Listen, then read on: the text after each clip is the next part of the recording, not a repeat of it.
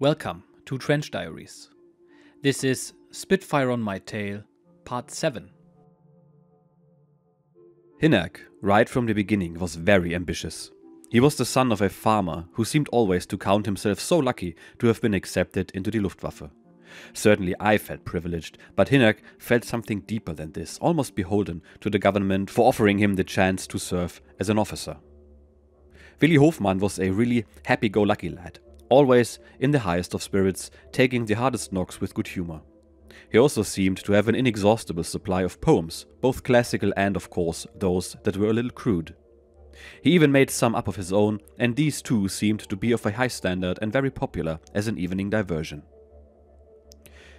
Willi's father was a train driver for the Reichsbahn, which, if you consider the mixture in just our room, demonstrates the truly classless selection of the Luftwaffe. It was a case of the best man for the job, and this was to be carried on later, even under combat conditions. However classless the selection, I have to comment that I think that Willy was badly suited to the Luftwaffe, perhaps not having enough concentration when flying. Often, he would sing at the top of his voice whilst heading for some potential catastrophe.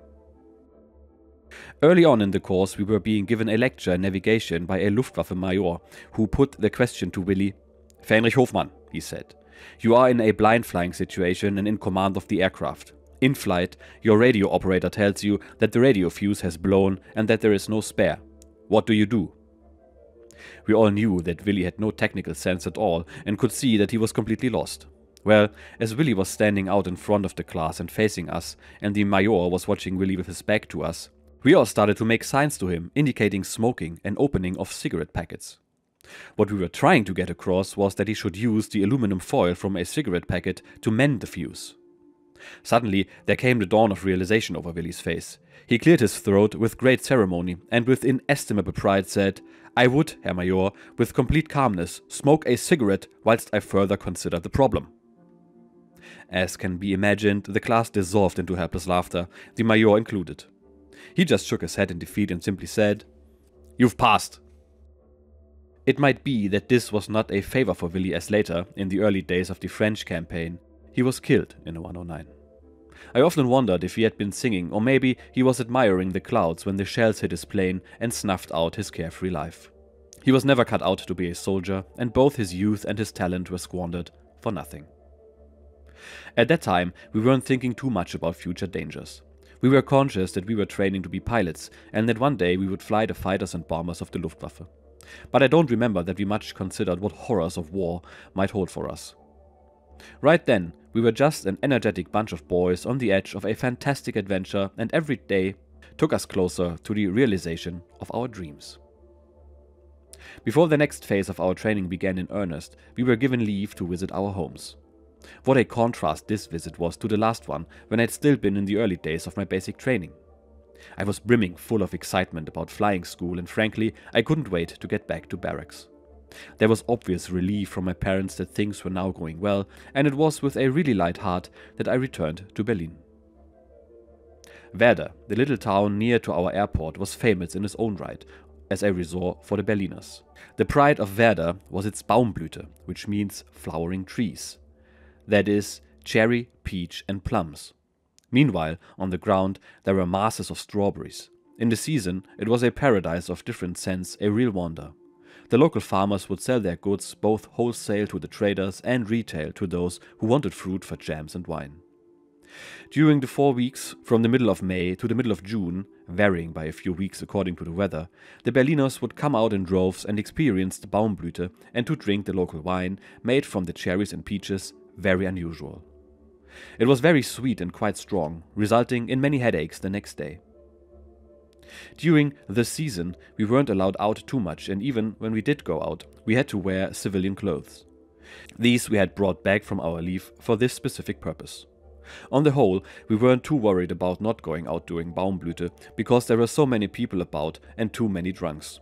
You couldn't go anywhere without someone wanting to pick a fight with you or just messing up the evening by behaving badly. We were glad when all the invaders went off back to Berlin. The only advantage was that there were many more dances and lots of girls about who soon got to know us well. Back at the school, we were amazed how the attitudes had changed. We were actually treated like humans and not like a low form of life. We had completed some of our theory, and soon it was time for us to take our first, however faltering steps toward the aircraft. For initial training, we used two types. The Heinkel Cadet HE72, a biplane which had a 140 or 160 horsepower radial engine and two seats in tandem, the pupil sitting at the front, and the Focke-Wulf FW44 Stieglitz, which was similar to the Heinkel, both being certificated for full aerobatics. When the day came for the first flight, we were all nervous. I suspect that most of us were having the same thoughts, having come so far and hoped for so much. What would happen if we were frightened? How could you face your comrades if you were airsick down your flying coat? We were all sure that we wanted to fly, but could we do it when the time came? On the great day, we were all too busy to feel too emotional about the forthcoming event. There was a great bustle as we grouped up ready for the flight. The aircraft were being run up by the instructors and the ground crew. When they were ready, they waved the first candidates over to the cockpits and waited for them to strap in. At the drop of a flag, the instructor would take the aircraft up for about five circuits and land, ready for the next candidate. When it was my turn, I doubled across to the plane and saw the grinning face of the previous pupil as he passed me. Hmm, it can't be so bad, I thought, as I stepped into the blustering prop wash from the idling radial engine.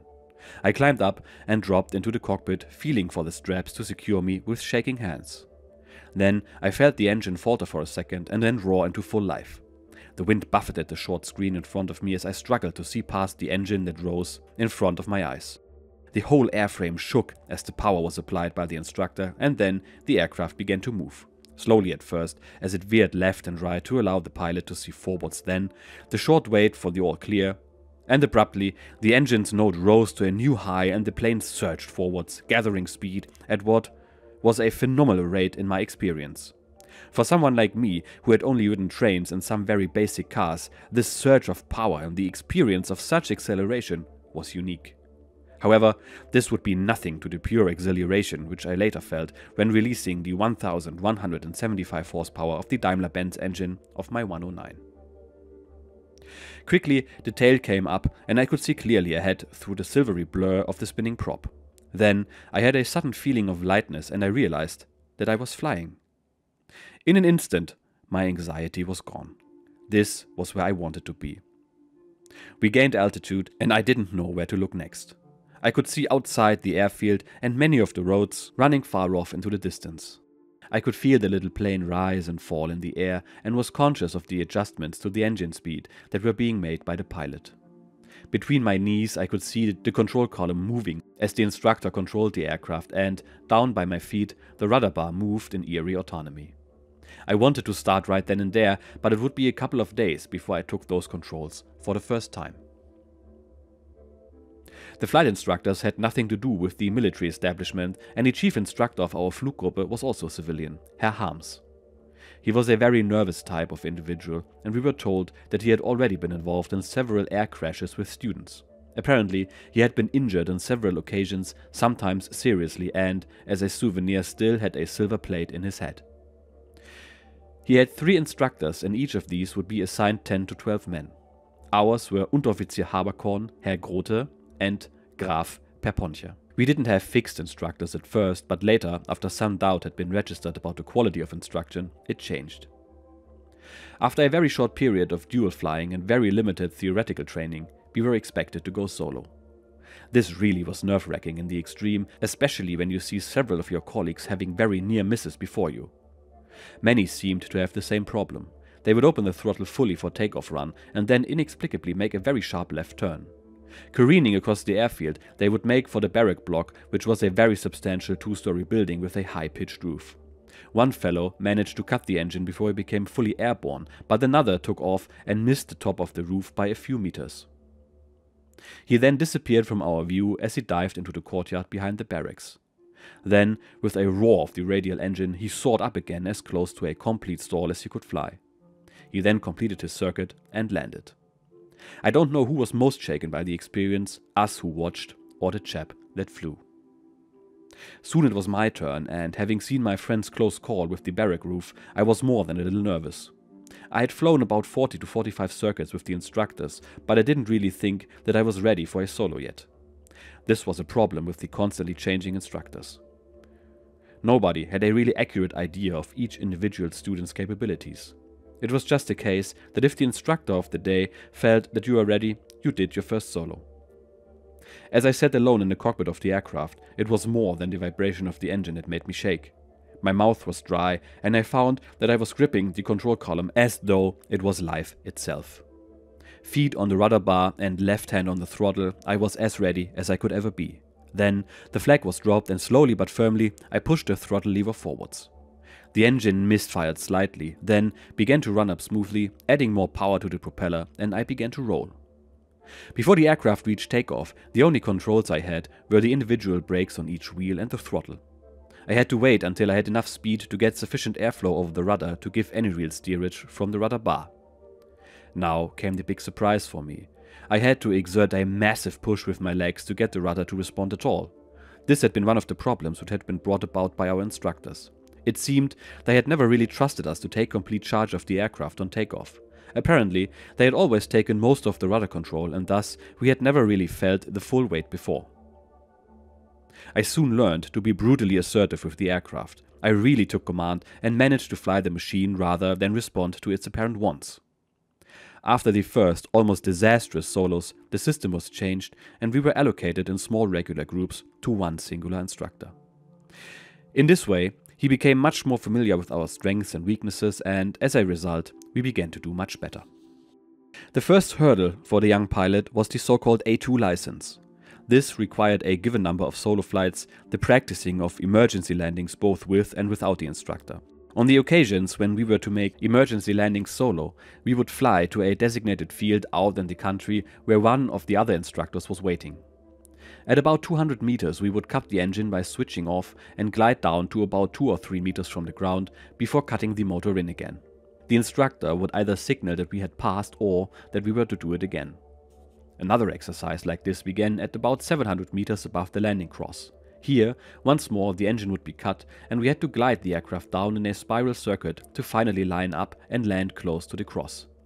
This had to be achieved without schnipsen, which means light and carefully applied touches of throttle. Some of us became very dexterous at applying the delicate little touches of throttle to better control the aircraft and to give a little lift without the keen ears of the instructors picking up any engine noise.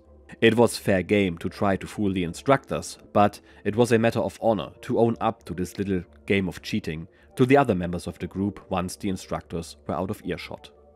The training was good and developed the skill of side slipping, this was to prove very useful later when landing the 109 under adverse conditions. The A2, if I remember correctly, required 2000 kilometers of cross-country flying. I remember my first flight to Magdeburg where I was to make a landing on the very much enlarged airfield. It was the first time I'd ever been there and would therefore have no idea of landmarks. Before takeoff, we had to get the weatherman to give us his forecast and to stamp our Bordbuch. Then, the instructors would check the barograph and the tail of the aircraft so that, upon our return, they could see if we had been flying level and at the correct height. You must remember that we had no radio and there was no such thing as air traffic control at the time. Similarly, if we got lost, it was our quite illegal practice to find a railway station from the air and then to dive down low enough to read the station sign and find out where we were. This too would show up on the barograph and earn the unlucky pilot a heavy rebuke from the instructor. My first long distance flight to Magdeburg was to be a real education for me. It was a case of trying to consolidate all of the theoretical work into a practical result. We had had some time to prepare our routes at our desks, taking into account wind speed and drift, air speeds, and fuel consumption. The flight plan had been checked and approved, and it was with confidence in the navigation but apprehension about the flight that I started up and taxied ready for takeoff. I was soon airborne and knew that I would have to adopt my first compass heading. There was the first problem. The compass wouldn't settle. In theory, you just glanced at the compass, which would read 270 degrees, and follow that course. In practice, it swam before my eyes, varying by tens of degrees. The result was that I very soon became lost and had to find my way back to Werder. There, I started out once more and this time I flew a little steadier, cutting down the compass swing. Learning to fly long distance solo was a very sobering experience. If I had to say that there was one single part of my training where most things came together and I learned the most, it would have been there in that lonely, windy, cold cockpit. It really was a kind of maturing for us, and for some, the effect was much more dramatic. From our company, which was 120 men, we lost about 10 trainees whilst they were accruing kilometers cross country for their A2 and B1 licenses. 10 men and 10 aircraft, a staggering price. Young hopes, dreams, and lives were obliterated in a few seconds. The epitaph, a tangle of aluminum, wires, oil, and fuel mixed with the wreckage of a body which had once served the soul of a friend and colleague. It was not only on the cross country that we lost our pilots. More often, it was due to the practice of unscheduled aerobatics at a time when we had not been fully trained in control. Looping the loop was a popular maneuver, as were short periods of practice dogfighting. These extracurricular activities were difficult to monitor by our supervising instructors when we were just a group of trainees out on a squadron strength cross country. Five to seven of the little biplanes would take off and form up, making for a common objective. During the flight, it would become obvious that one or more of us were ready for a little unscheduled activity. Before long, each of us had become involved in dangerous maneuvers, and unfortunately, sometimes the consequences were fatal. Then, for a few days, we would all become model trainees, but it never lasted long. The trouble was that we instructors didn't fly with us at all on the cross countries. We had to fly the nest sometimes, and unless we were observed, they had no idea what we were up to. During the flights, the unscheduled descents to read rail station signs or directions on the motorway would be spotted on the barograph record, but maneuvers whilst airborne did not show up. There would be a slight climb, then a drop in altitude, and a slight climb again. On the barograph, it was just an apparent reaction to turbulence. In fact, it had been a high speed loop which had stretched the control of the trainee to the limit. Young people will always stretch themselves to their limit, it is all part of growing up. The trouble with doing this in the air is that nature is completely unforgiving of this youthful folly. If you lose control, you can't just pull up, recover your wits, then have another go. You die. Recognizing that it was the unscheduled aerobatics which caused most of the fatal accidents, the instructors tried as best they could to limit our games. They soon realized that many accidents had taken place in the vicinity of a pupil's parents, girlfriends, or relatives' home. The cause was apparent just showing off. Soon, they had a register of all significant sites for the pupils, and training routes were designed to avoid this kind of temptation. I, for instance, had a statutory ban imposed upon me for crossing the Main River to the south of Stuttgart, let alone getting near the town itself. I personally didn't have too many narrow escapes. I don't know if I was naturally more skilled than the others or more cautious, but I don't think that either was the case. Maybe I was just lucky. Those that did occur were usually beyond my control. The closest I ever came to death during the early days of my training was a case in point. When I recall the memory of this, even after all the years that have since passed, I still feel the knot of panic in my stomach, the smell of petrol, shouts of alarm, and willing hands trying to pull me from the twisted mass which had, seconds before, been my aircraft. Accidents happen when you least expect them. That seems to be a fairly universal rule. This day was no exception. I remember that it was sunny and clear with a light wind, ideal flying weather. We were all flying circuits and bumps, that is, takeoff and landing, with one circuit of the airfield. There was a strict control by means of flags and, when danger threatened, by use of flares, either red or green. I had finished four or five circuits and was making my way back to the neutral zone behind one of the other trainees. I was keeping a very close check on our spacing, ensuring that I didn't run into his tail. With the tail of my aircraft down and the engine rising in line of sight, this was only achieved by swinging the aircraft left and right on something of a serpentine course by using alternate brakes. This, of course, required concentration, and we tended to rely on the other pilots to play their part and to avoid us in turn. As we made our way across the field, I concentrated on the front left because this was where I could see the aircraft in front. Quite why, I didn't know to this day, but I suddenly looked to the right, towards the takeoff line. To my horror, I saw the silvery spinning blur of a propeller and the menacing outline of an aircraft as it hurtled towards me on a collision course. I had less than a second's warning. It must have been sheer instinct which made me duck down into the relative safety of the cockpit, just before the shattering impact of the propeller. I was thrown sideways and felt the pressure of the mangled wreckage pressing down on me. There had been a tremendous rending of metal and splintering of wood, but I was still aware of regular high speed impacts as something, which I took to be the propeller of my aircraft, continued to beat. From the overwhelming experience of the initial collision, I gradually began to be able to sort out different sounds and feelings from the overall trauma.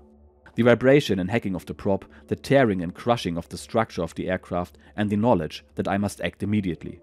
Ignition off was the phrase which burned in my mind. Must get the ignition off.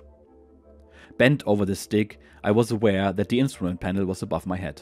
I felt upwards cautiously to where I thought the switches might be and found the toggle switch which controlled the electrics. I switched it off. Then I became aware of a metallic pinging sound as hot metal cylinder fins and exhaust manifolds began to cool and the menacing pts, pts, pts as fuel from ruptured feeder pipes dripped onto hot metal. I then became conscious of the shouts of my friends and colleagues as they made their way towards the tangled mass. Over the top of the others, I could hear the almost hysterical voice of Mr. Harms as he shouted, Get out! Get out! Fire! Fire! I suddenly came fully to my senses and tried to move, but I was firmly held in place. I was still in my harness, and one of the cylinders of the radial engine of the other plane was pinning my shoulder. My stomach knotted with fear as I imagined the sudden explosion and fire. The horrors of slowly burning to death erupted into my mind. I had to swallow a scream and tried to think calmly. Willing helpers reached into the tangled mass and pulled at my clothing, nearly wrenching my arms from their sockets, but still I was held firmly. In what was actually only minutes but seemed like hours, enough help arrived and the two aircraft were physically ripped apart and I was released. As I looked back at the tangled mass of wreckage, I felt fortunate indeed to have only suffered minor injuries. There had been no fire. Luck must have smiled upon me that day. Flight training has finally begun for Ulrich, and what a rush that must have been. I myself have a little, very little experience but some experience nonetheless, with piloting small single engine aircraft, and even those few hours were extremely fun, so I can really empathize with him here. But one can only imagine the danger back then, with limited avionics and no radios in the trainer aircraft. Ulrich himself suffered a major accident just because someone else did not pay enough attention. But rest assured, it will not dissuade him from going on, and we will learn about that in the next episode. I will see you then. Cheers. Bye bye.